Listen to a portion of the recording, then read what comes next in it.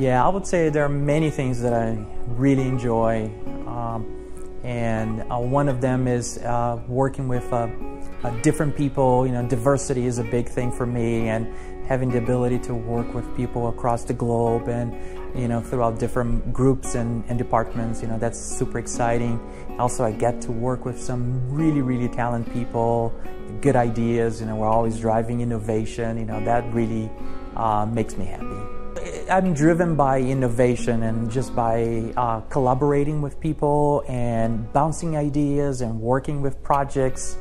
Um, it's just it's just phenomenal. You know, I really enjoy um, uh, that part of my work.